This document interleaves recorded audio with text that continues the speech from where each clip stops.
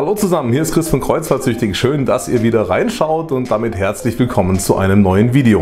Tja, und wenn ihr dieses Video seht, sind wir bereits einen Tag unterwegs an Bord von AIDA Prima auf unserer Route Kanaren und Madeira 3. Und äh, ja, in diesem Video wollen wir euch schon mal einen kleinen Vorgeschmack auf das geben, was ihr in den kommenden Vlogfolgen sehen werdet.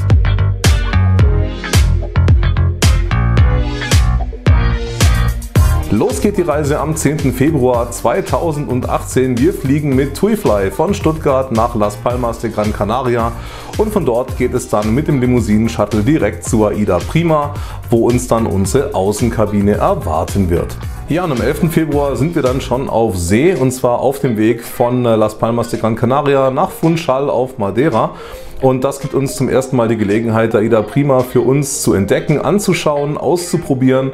Und äh, aus diesem Grund haben wir uns auch schon abends einen Tisch im Casanova reserviert. Das ist ja eines der neuen Bedienrestaurants auf AIDA Prima.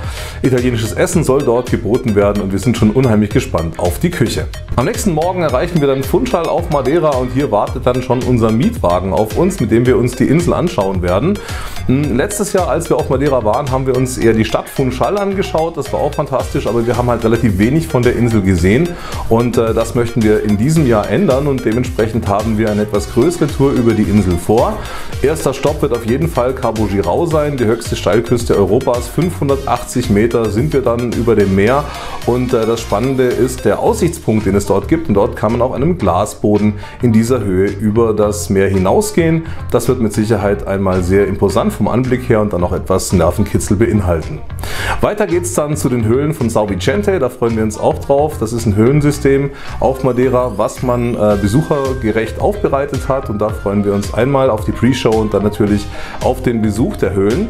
Und äh, ja, je nachdem wie das Wetter dann sein wird, entweder wenn es warm ist, werden wir nach Porto Muniz fahren. Dort gibt es wunderschöne Meerespools im Norden der Insel, äh, wo man in der Brandung in einem richtigen Pool schwimmen kann. Also das muss fantastisch sein. Sollte das Wetter nicht so ganz warm sein, dann wird es wahrscheinlich äh, eher eine Wanderung auf den höchsten Berg des Eilands werden, auf den Pico Ruivo und äh, das lässt sich auch relativ einfach bewerkstelligen, weil es dort in Gipfelnähe einen Parkplatz gibt. Ähm, ja, wir werden sehen, ob die Zeit reicht, entweder Porto Muniz oder Pico Ruivo mitzunehmen. Wenn es sich irgendwie zeitlich einrichten lässt, werden wir das natürlich tun. Ja, und äh, dann haben wir wieder einen Seetag vor uns äh, auf dem Weg nach Teneriffa. Und äh, für diesen Tag haben wir uns im French Kiss einen Tisch reserviert. Da werden wir uns abends also dem französischen Bedienrestaurant zuwenden und tagsüber natürlich wieder die Annehmlichkeiten des Schiffes genießen. Am nächsten Morgen erreichen wir dann auch schon Teneriffa und da werden wir uns relativ früh zur Mietwagenstation aufmachen, denn wir haben eine Verabredung an der Seilbahnstation. Wir haben ein zeitgebundenes Ticket äh, für die Fahrt auf den Pico del Teide gebucht und äh, das wird mit Sicherheit ein ganz besonderes Erlebnis werden. Der Pico del Teide ist mit seinen 3700 Metern ja auch der höchste Berg auf spanischem Staatsgebiet. Tja, und falls es sich zeitlich dann noch äh, einrichten lässt, werden wir noch etwas in den Süden fahren.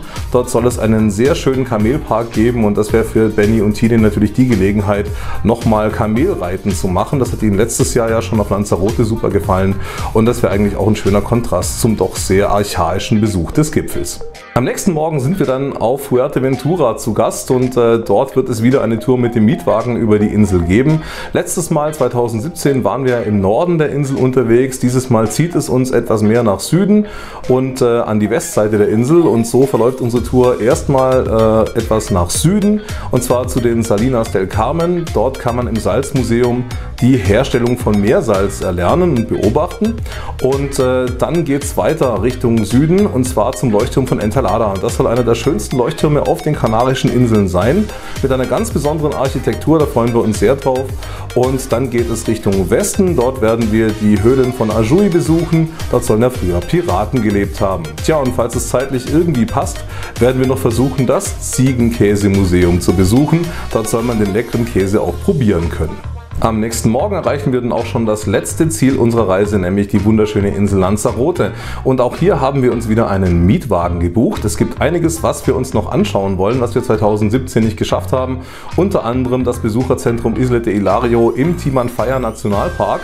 Das wird das erste Ziel dieses Tages sein. Also wir hoffen einfach, dass wir vor den ganzen Touristenbussen dann vor Ort sein können, um nicht eine sehr lange Wartezeit bei der Einfahrt in den Nationalpark zu haben. Danach wird es Richtung Norden gehen zur Fundación César Manrique, also einem der wichtigsten Orte für diesen sehr berühmten Inselkünstler der Kanaren.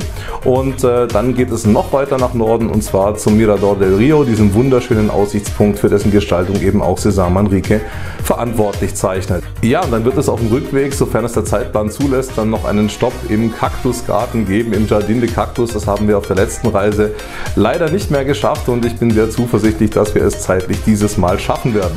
Ja, und am nächsten Morgen ist unsere Reise dann auch schon wieder zu Ende. Aida Prima macht wieder in Las Palmas de Gran Canaria fest.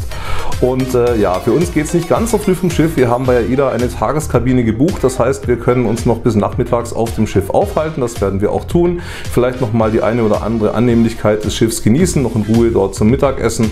Und dann wird nachmittags unser Transfer zum Flughafen gehen, von dem uns dann TuiFly wieder nach Stuttgart zurückbringt.